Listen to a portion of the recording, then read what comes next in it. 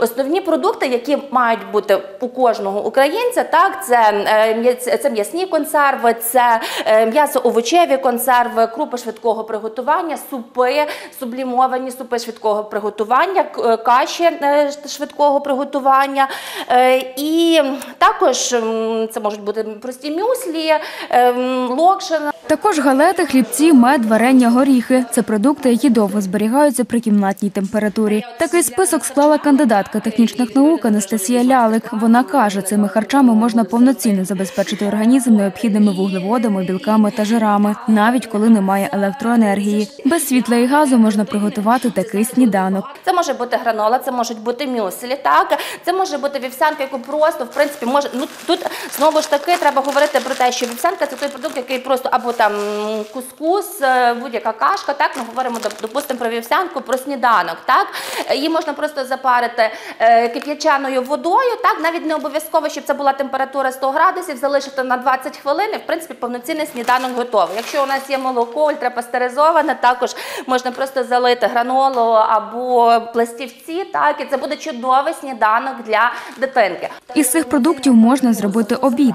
Швидкий обід, який готується та максимум 15 хвилин. Якщо у вас є можливість загріти, закип'ятити воду, залити е, локшину е, кипяченою водою 2-3 хвилинки, додати е, білок. Це може бути сир тофу, сир фета. Так, обов'язково має бути білок.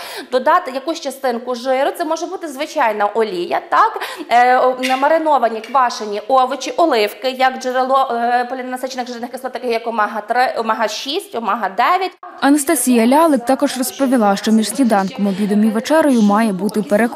За її словами, можна їсти бобові це джерело вуглеводів і білків. Квасоля, сочевиця.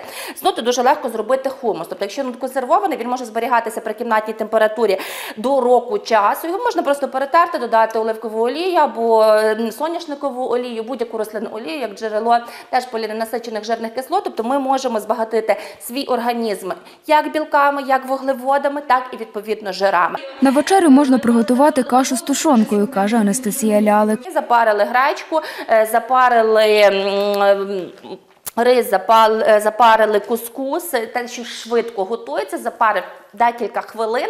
Кускус взагалі це, це унікальний продукт, який 2 хвилини, пакетик в каструлю, так, запарили 2-3 хвилинки, і в принципі е, повноцінна ну, така вечеря готова, рибна консерва, на м'ясна консерва на ваш вибір. Також квашені овочі можуть бути, і на смаколики, на вечерю. Так, для діток ми можемо говорити про мед або варенячку з галетами або з хлібцями.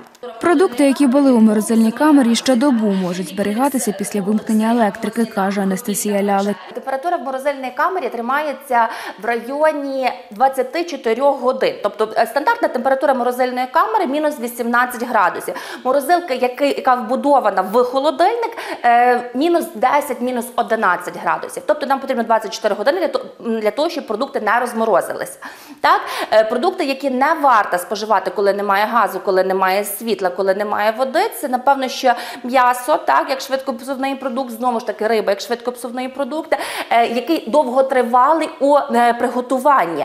Якщо говорити про е, м'ясо, яке можна зберігати, можна готувати, це скоріше м'ясо птиці. Коли немає електрики і холодильник не працює, можна виносити продукти на балкон, де нижча температура, або ж використовувати холодильні акумулятори, які зможуть продовжити термін зберігання їжі на добу, каже Анастасія Лялик. Українці найсильніша нація. Ми унікальна нація. Ми обов'язково переживемо зиму, переможемо, і все у нас буде чудово. Анастасія Кисіль, Андрій Бодак. Новини на Суспільному. Тернопіль.